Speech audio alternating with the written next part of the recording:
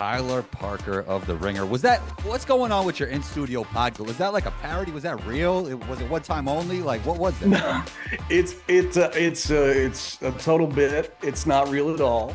Um, the the whole like idea, I guess, behind it is that it's they are social media breakouts for a pod that doesn't actually exist, and so it's like it's the idea is sort of, you know, so like to me, the best version of a basketball podcast is a player podcast. Like the the the best that, like I think I think a, a current player is capable of doing the best version of a basketball podcast. They know the most and can be the most engaging and can speak with the most authority and nuance. But I also think that the worst version of a basketball podcast sometimes is also some of these player pods. because they are aimless and wandering and seem to be not even geared towards the whole episode, but just like, let's see if we can get one breakout. And so that's kind of the idea of the bit. Whereas, like, what if this was just a really, really bad player podcast?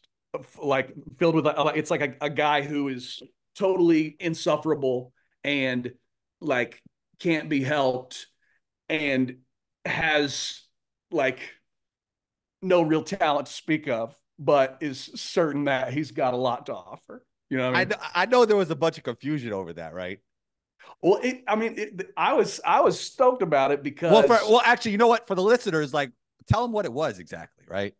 Well, it, I mean, basically, like it was the the the idea is it's called the Parker Tiles Show with Thad Roper, and it's uh yeah, we released like this like two minute trailer saying there was going to be a new pod on you know Spotify or whatever, a new Ringer thing, and yeah, the trailer itself was just sort of a montage of uh, um, theoretically, you know, different clips from this podcast that you know exists or whatever, and um, yeah, I mean we're I like hopefully we're playing the bit you know, pretty close to the vest and not being too ham fisted about it. So people aren't sure initially if it's a joke. Mm. And whenever they hear um, me saying things like, you know, then it becomes they become very confused like wait this doesn't sound like how a player what what what what is what is going on here um and uh yeah it was just there's I think we've got some things in there that are uh, incongruous with the uh, traditional um, uh, stuff that you hear on like a player podcast. And so, yeah, sometimes it takes people a second to catch up to the bit, but yeah, we're having having fun doing it. We'll, we have got some more coming. At some we've we've shot a couple more days worth of stuff, and they'll just re- get released slowly. All right. So I wanted to talk about Thunder basketball, obviously, with yes. you. And you know what? I don't know if you remember this because it's been a while already. We actually forecasted like so much of what could be happening with this OKC team. Back when we talked last time, we talked about the Giddey SGA fit. We talked about Chet right. would be the guy to help them turn the corner. That was right. We talked right before that draft, right?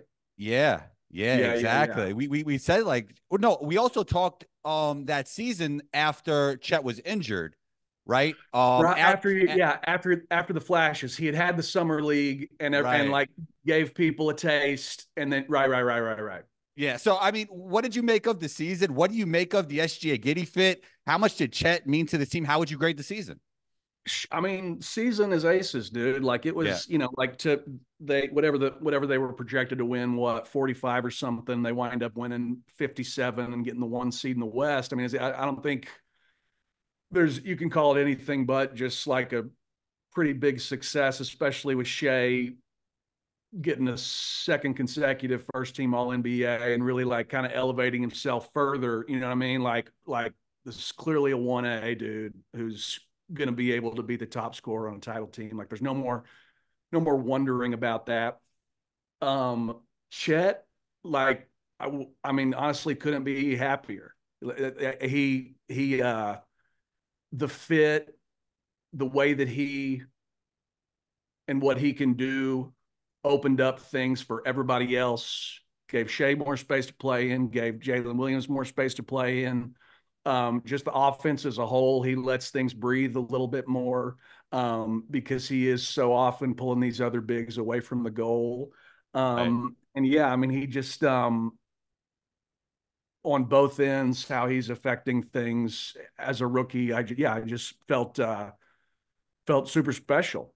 Speaking of scenarios, what's your favorite trade scenarios when it comes to this OKC team? I mean, the Hartenstein thing got everybody in New York in a frenzy. What are your thoughts on that? And who else should they be thinking about, not only in terms of specific players, but archetype of player? Yeah, I mean, Hard, like Hartenstein, I'd be I'd be pumped about Hartenstein. He just just because like I think there's some fun passing stuff there, um, and he can get out and run, protect the rim, finish, bouncy, just like yeah, plays physical, all the things that you would like out of a five. Right. If you are going to run Chet at the four. Um, so it's it it uh for the right price and it, and it I mean it sounded like I guess when it got leaked or whatever they were talking about for a couple years, which makes sense because they're going to have to pay some of these other younger dudes after that. So it makes sense that if they were going to try to go get him, it'd be a shorter deal. You know what I mean?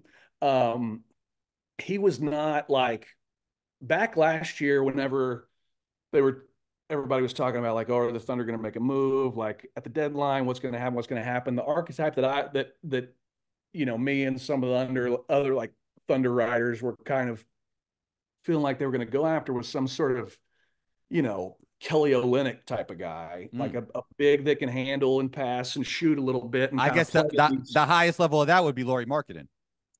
That'd be well, that would be great, but it's also like I don't. I think all that. I think Ainge is blowing a bunch of smoke, and they're not getting rid of Markkanen. Like he's really good, and, and but clearly not so good that it's getting in the way of them getting good picks. You know what I mean? So it's like, right, right. it just doesn't make it. Them getting rid of him doesn't make any sense to me. Right. So was, I was never like holding out hope for that.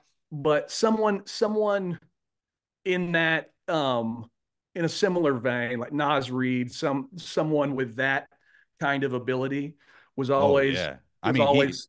He, he's probably too good to move off of now too. oh, a thousand percent. Yeah, yeah, I mean, Minnesota would Minnesota would be crazy to to get rid of. Them. Right, right, right.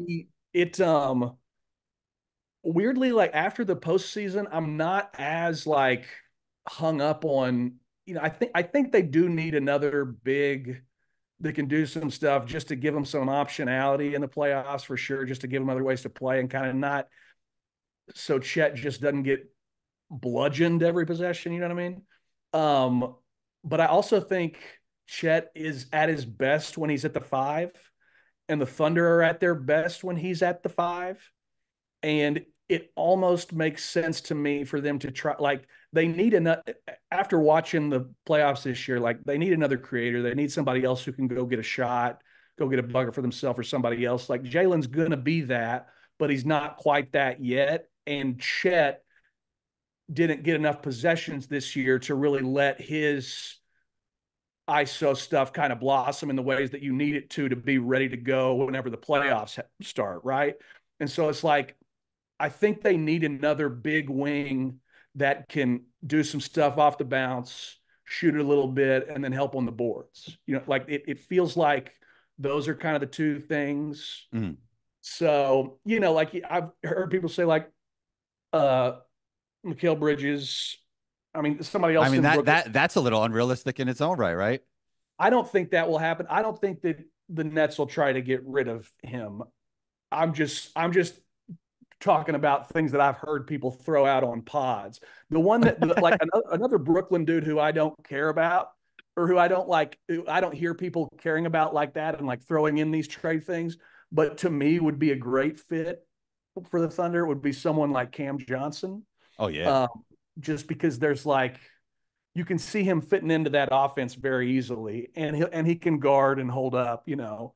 And so it um someone someone kind of in that neighborhood. I think. All right. What do you, what do you, what do you think? Are you where, where are you at with him? I mean, I think Hards. I've been high on Hartenstein since I saw him with the Rockets in summer league. Like I always loved his game, so I think he'd be great for them. And then you know, yeah. Chet playing alongside of him, I think is a good mix. Talking about like the trades thrown out on pods. I've been hearing a lot of like Klay Thompson, Kevin Huerter. You mentioned shooting. How do you feel about like those two guys? I mean, that'd be like I don't think Klay's coming to Oklahoma City. Um, hmm. I don't think he would. I don't think they're going to want to pay him what he's going to want to be paid. You know what I mean? Like I like they got they, they well they anybody have, well anybody in the NBA. That's the question, right? No, no, but but uh, but like but I think somebody will pay him close, right? Like somebody somebody will. I think somebody will throw him a bag, right? Like you, like the Kings will throw him something, or the or the Pistons, or someone like that. That that's important, but I think OKC or the Magic. I think OKC falls in the category where Klay might think in his head, "Let me. I think I could win a championship with OKC." Like, I, and then I'm gonna show it. I'm gonna prove everybody wrong. Like, you got this really great young player in SGA, Jalen Williams ascending. Maybe I could be the missing piece. I, I don't know if Klay's feeling that way, but I could see him thinking that. You know, if he if if he if he was feeling like that, and if his mind was like that, and he was cool just coming in and, and like whatever shots he gets, he gets. You know what I mean? And then like, yeah. Well, we also great. another thing is we've we've written people off that come back really strong after people thought they were done. That's another thing. Like we could we could see huge Klay games in the future. You never know. No, I think it's totally possible. It's it, like it's all about where like where he's at in the hierarchy on the roster and what he's being asked to do. Like you feel the Warriors sometimes asking him to do things that he kind of can't do anymore. You know what yeah. I mean? Like like and or or not on the level that he could.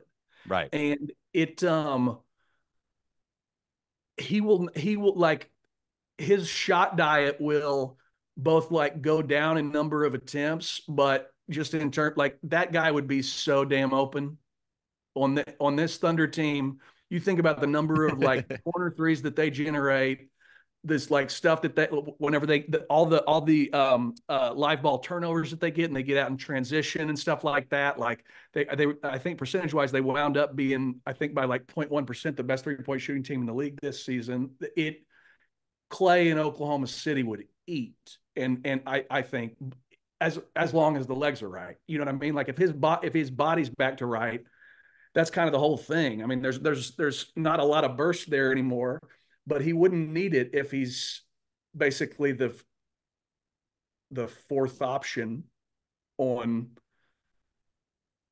an Oklahoma City team, you know, and and he could stay out there with the second units and kind of um, run off screens and play some two man stuff with Jalen or Chet. Yeah, it'd be, it'd be interesting. I, I, haven't I haven't I haven't thought about him in Oklahoma City just because it sort of seems I think I think every time I think about him and Oklahoma City in the same thought, I s- almost go into a seizure and like break out in hives after Game Six in 2016. Um, but uh, but that's interesting. I don't think they bring in Huerter, mm. like like for for what he'll for what he would cost because he just doesn't guard. You know what I mean? Like they like like they they don't doesn't want to play guys that don't guard really. You know, like he if if if someone's just a just going straight matador out there, they're not going to get a ton of burn. And I think especially so going forward now that like they're more invested in actually winning some games. You know what I mean? Yeah, maybe Westbrook's and KD's best chance to win a titles with OKC. Yeah, dude. I mean, please believe there's been plenty of people talking about like that boy, that'd be crazy if that happened. I have no idea what. I don't think I don't, I think like Russell do the like he'll he'll Emmitt Smith it and sign a one day contract, you know, right before he retires, so he can retire, you know, on the Thunder. I don't think they'll bring him back like to play any significant on court role. Just be, I think that's too too explosive, and also just like we got enough dudes on the perimeter now that need the ball in their hands. Like it just it, it wouldn't. I'm not sure the vibe would be right, and like that that the relationship between Russ and the organization and Russ and the state is so special.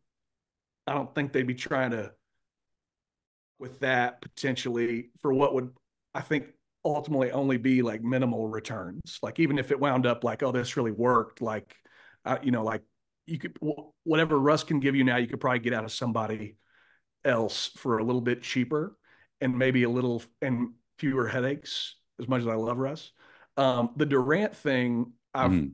heard a bunch of people bring up, and for sure he would fit perfectly. I have no idea how I feel about it. You know, to be honest with you, like there's there's part of me that's like, you know, uh, all parties have moved on. Let's stay moved on. You know, mm. um, and uh, like we don't need to bring in someone that would because because he would he would he is still good enough especially offensively that like you would have to change the way your offense operates a little bit like the, the shot distribution would want like dub would have to take a step back you know i think and mm. and you know I mean, well, you know, J- Jalen, as much as I think he could actually be a superstar at some point, still, he wasn't ready yet, right? For no, to, he wasn't. Yeah, yeah, no. yeah. I mean, that like, and and that was that was the that. I mean, that's why I said that thing about kind of like after the playoffs, thinking we need another kind of big wing, just somebody mm-hmm. else that can go get a shot. Because, like I say, I do think Jalen will get there. I think yeah. like the the like all the seeds and checkpoints pretty much have you know been planted and met as far as he's concerned um, on both ends of the floor he just didn't he just doesn't quite have the like iso bag yet that he'll need to be able to function like that and i also think like he needs a little he, he needs a little bit more space than Shai needs right now to be able to like maneuver. Like Shai's like Shai can slink through, you know, these like cracks in the defense that it makes no sense that, that nobody should is, be able to fit through. That, that guy is so good, man. And it's interesting, it's like, it's insane. And the thing is, is like he was strong in the playoffs too. So it's like when your team loses, you kind of forget about the individual effort, right? Like nobody's saying like SGA had a great playoffs because you know they're not here anymore. But it was great. It was it was up there. Dude, he he like he was blow for blow with Luka pretty much the whole mm-hmm. way. I mean, like Shai was probably the best player in that series, honestly. Like you can make that mm. argument. I well, think. what do you what do you think about the two way stuff, right? Yeah, yeah. And yeah, so yeah. It, it um it uh the the the the problem with with you know that series is PJ Washington turns into fucking Glen Rice. and, you know, like Derrick Jones Jr. goes bananas and catches fire and, and, and, uh, and yeah, like it, it, they got other dudes going, you know what I mean? And like, and, and the Thunder didn't shoot the ball as well as they've been shooting throughout the season. Like the Mavs, the Mavs, you know, were were guarding, and so it. uh But it wasn't. Yeah, it, it, all that to say, like, I'm with you. It wasn't some situation where like Shai didn't show up. Like he was. He was. uh I was. I wasn't expecting him to to like not show up, but I was pleasantly surprised with how ready he was, if that makes sense. Yeah. Um obviously the Thunder have been great in drafts. And this draft is interesting because it's almost like if you're a real draft guy, you'll say this draft isn't weak. But if, right. if you aren't really a draft guy, if you're like an NBA guy, you'd be like, this is a weak draft. I yeah, mean, yeah. I guess it just all depends on like your perspective, right? Yeah, I mean, it, dude, like, and I still haven't even like started really like doing a bunch of digging into these guys. Like I've still been had my head in the in the like sand of the NBA finals and stuff, but it it definitely like you're spot on in your description of it. It does it like there I, I'm sure as we get closer to the actual day, there will be people putting a positive spin on it like hey, you could get a serious contributor in the 20s here. You know, there's there's there's no difference between guys in the early second round and guys at 10 or whatever. Yo, you know, like, Jokic got drafted at a Taco Bell commercial. Sure. Yes. and like it, I could see I could see that happening um for sure. It to me the biggest kind of red flag is that hearing the, all these people say that basically like the number one pick in this draft is the equivalent to like the eighth pick in some of these other good drafts. Sounds like a, that, that, sounds like a Bill Simmons take, right? Is that the Bill Simmons take? I think that was that probably was, or was either him or it was either him or Russillo probably. Okay, okay. The, but it like, or it might have been Kyle, man. Maybe. okay, remember. one of them. The, they had a they had a meeting and they talked about it. Yeah, I sourced. I, I, I, I cited my source. um, the uh, but yeah, I it's I'm glad the fun I'm glad that this isn't a year where one I'm glad this wasn't one of the prime Thunder tank years, you know what I mean? Where yeah. you're like really counting on some monster to come available there for you. Some like Chet, you know what I mean? Like you're really hoping that someone is available there that can really, you know, uh, affect some change in the franchise.